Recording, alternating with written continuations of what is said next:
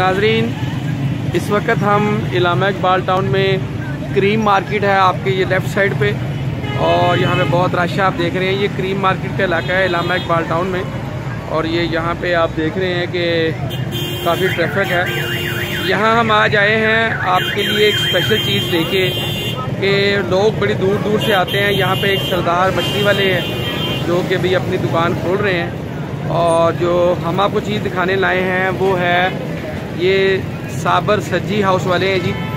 ये बड़े मशहूर हैं लाहौर में और इनकी सज्जी जो सी है वो मानी जाती है लाहौर में और बड़ी बड़ी दूर से यहाँ पे लोग आते हैं और अभी वो अपना सेटअप सेट कर रहे हैं और वो ये सज्जी तैयार कर रहे हैं। ये इनका सेटअप है जी।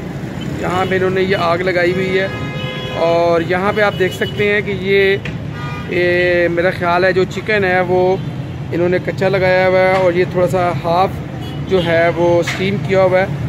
और इधर हम आपको दिखा सकें, फिर सब्ज़ी तैयार करने के बाद ये इस तरह उस पर मसाला लगता है। और इनका जो ये मसाला है, बहुत मशहूर है, बल्कि दिल करता है मसाला बंदा वैसे ही खा ले। तो ये इनके कारीगर हैं। ये आप देख रहे हैं, माशाल्लाह काफ़ी ट्रेंड लग रहे हैं, हैवी बहुत स्मार्ट किस्म के बंदे। और ये इन्होंने सब्ज़ी आग से थोड़ी दूर रखी है। अच्छा आप ये मुझे बताना पसंद फरमाएँगे कि आपने ये सब्ज़ी यहाँ से दूर क्यों रखी है? उधर आग ज़्यादा है ना, वो जल जाएगी आग ज़्यादा इसलिए आपने दूर रखी है कि वो जल ना जाए। अच्छा जी, आप समझ गए होंगे। ये अमूमन कितना टाइम लेती है सब्ज़ी तैयार होने में? बीस पच्चीस मिनट एक चिकन ले जाता है जी तैयार होने में। और ये जो आपने आग वगैरह लगी, मेरे ख्याल तो आहिस्ता आहिस्ता जो जो तैयार होती है, आग आप इसके नीचे करते जाते हैं। अच्छा जी तो ये जनाबे वाला हमने आज आपको दिखाई है।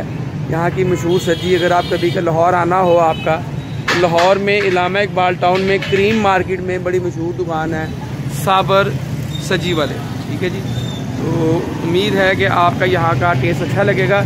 और जनाब आपके आने का टाइम कितने बजे का और जाने का कितने बजे का हमारा तकरीबन चार बजे आते हैं और चार बजे बंद करते हैं। अच्छा शाम के चार बजे आप आते हैं और सुबह के चार बजे आप बंद करते हैं। नाजरीन ये कितनी खुशी की बात है कि जो रात के शौकीन अफराद हैं जो कि रात के टाइम आके खाना पसंद करते हैं। वो जिस वक्त मज़ी आए शाम को और लेट नाइट तक ये सज्जी से इंजॉय कर सकते हैं। वो लोग अकेले भी आते हैं विद फैमिलीज़ भी आते हैं।